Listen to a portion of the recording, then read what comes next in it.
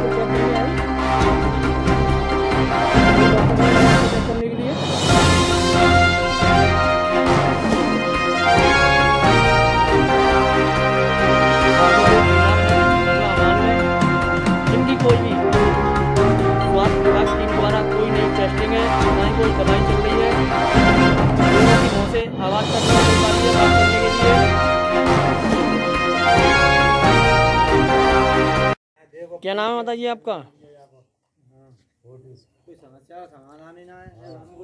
सुनीता जी, क्या दिक्कत है आपको?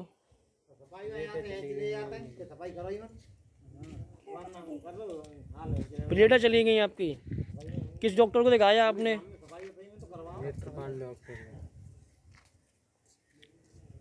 कोई सरकारी टीम आपको देखने आई है, नहीं आई है? कोई टीम नहीं आई? नगला अमान में काफ़ी परिवारों के साथ यही हाल है और मैं आपको दिखाना चाह रहा हूँ, एक परिवार में कितने लोग हैं? एक परिवार में कितने लोग हैं? देखिए आप उनके हालात, जो कि सारे परिवार में सारे लोग ही बीमार पड़े हुए हैं। कोई भी डॉक्टर की टीम नगला अमान अभी तक नहीं पहुँची है, ना ही किसी पेशेंट का कोई इलाज किया जा रहा है। नगला अमान में देखिए कितने लोग परेशान हो चुके हैं। सभी लोग बीमार पड़े हुए हैं ही परिवार के? मैं आपको दिखाना चाह रहा हूँ। छः छः बीमार हैं।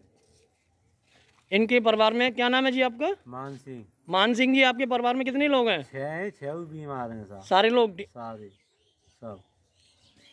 कोई डॉक्टर की टीम नहीं आ रही है? कोई नहीं आई है। कोई भी शासन प्रशासन से मतलब कोई आपको चेक करने नहीं आ रहा है? कोई नहीं आया। अधिकारी नहीं और एक एक चीज़ और देख लो साहब। हाँ इधर और देख लो ने। गंदगी इतनी है कि पूरे चौमा से कड़ गए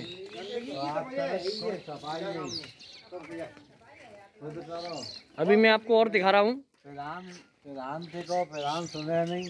देखो कितनी गंदगी है इधर देखो। ये ये ये हाल है इसका। नाली का नाली ये गली है। गली है ऊपर तक हटी है ऊपर होके पानी चल रहा है नाली है इसमें। नालियों का पानी नहीं निकल रहा है। हाँ।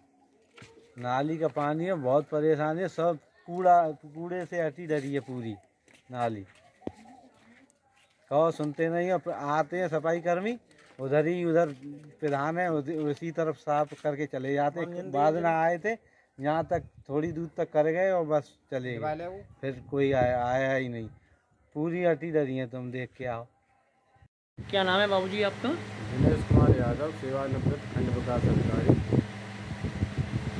बाबूजी आपके परिवार में ऐसी क्या बात हुई ऐसी क्या बीमारी हुई जिससे कि आपके परिवार में एक आदमी को आपको खोना पड़ा है?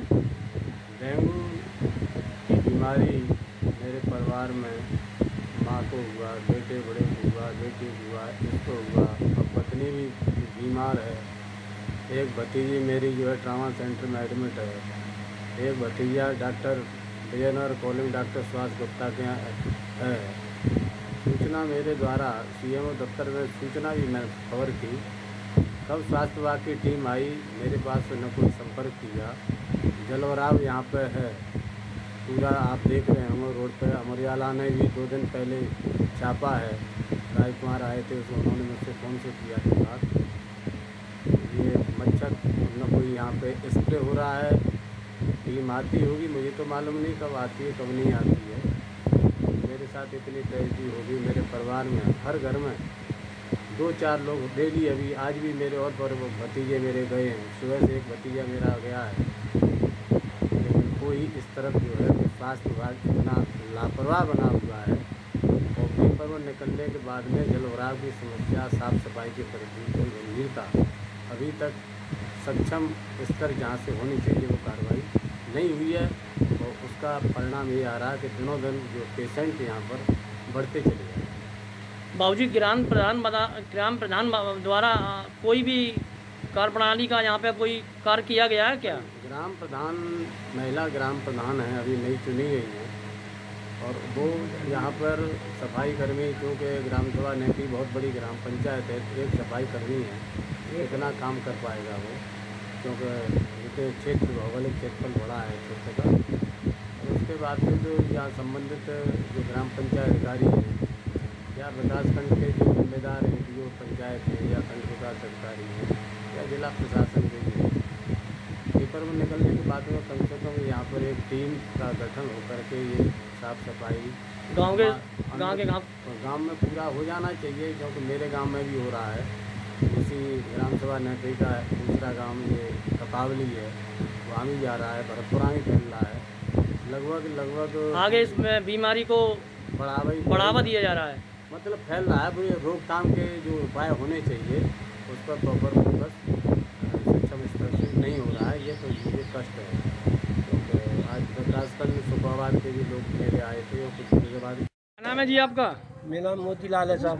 मोतीलाल जी क्या परेशानी है आपको आपके गाँव में? साहब पूरे गाँव की तकलीफ़ डले हुए हैं सारे लोग। कितने लोग होंगे समथिंग आपके गाँव में? अस्सी नब्बे के लगभग होंगे दो सौ आदमी का परिवार होंगे अच्छा। आपके परिवार में आपको बेटे को क्या बात है? बुखार है साहब दो लोगों को हमारे को अच्छा हाँ। दो लोगों को बुखार आ रहा है। कोई स्वास्थ्य विभाग की टीम आपके पास देखने आई है? कोई नहीं आ रहा है? ग्राम ग्राम प्रधान जी आपको कोई देखने आए हैं? कुछ नहीं आ रहा। कोई भी। केवल वोट लेने आते हैं आपसे। केवल वोट लेने के लिए मांगने आते हैं बस खाली और कोई कार्रवाई नहीं करते हैं। और आपकी कोई सुनवाई नहीं है? कोई सुनवाई नहीं। कछु सुनवाई नहीं ना कॉलोनी देते ना कोई सुविधा है कुछ चीज़ नहीं है। हम लोग हम लोग गरीब आदमी हैं। नहीं गरीब पास कुछ नहीं है। गरीब आदमी हो अभी आपके जो गाँव में डेंगू की बीमारियाँ जो फैली हुई है हाँ। उसके बारे में आपके पास नंबर कोई नहीं आ रहा पूछने के लिए। मोहल्ले में नहीं आए दूसरे मोहल्ले में आए। गाँव में सफ़ाई वफाई कुछ नहीं होती। है में नाली लो तो साफ़ ना कर रहे हम सही जाने कत नाली साफ़। यहाँ में कोई मेहतर हो तो आतो ना है। आना ही ना देते जालम कोई।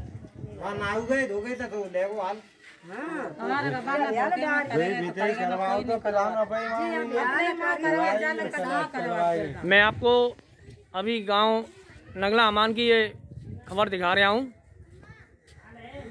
इन सभी ग्रामवासियों का कहना है कि ग्राम प्रधान भी हमारी तरफ़ नहीं देख रहे हैं कोई स्वास्थ्य विभाग की कोई टीम नहीं आ रही है। हमारे परिवार में काफ़ी लोग बीमार पड़े हुए हैं। है प्रधान हमारे इसलिए वो इधर लाता नहीं है।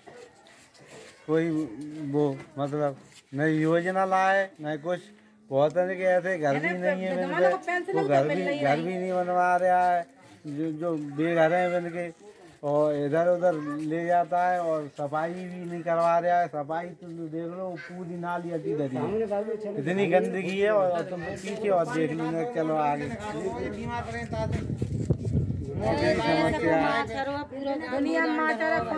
क्या नाम है आंटी जी आपका हमारा? हाँ जी। राम देवी राम देवी जी आपके परिवार में आपके गाँव में कितने लोग बीमार पड़े हुए हैं? पूरा ही गाँव डरा हुआ है। पूरा गाँव पड़ा हुआ है। कोई भी टीम आपको स्वास्थ्य विभाग के कोई भी अधिकारी नहीं आ रहे देखने के लिए। नहीं आए रहो। अब आप लोग अपने बच्चों का अपने परिवार का परिवार लोगों का कहाँ पे ट्रीटमेंट करा रहे हैं आप? बाज़ार? सरकारी हॉस्पिटल यहाँ से वहाँ सेंटर में। यहाँ से वहाँ ले जाना पड़ रहा है आपको। हाँ। लाने ले जाने की कोई सुविधा?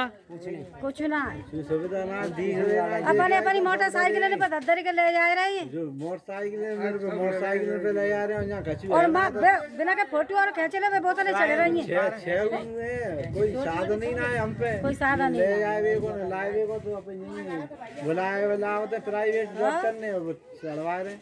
क्या करें। क्या कोई ना भैया साधन है तो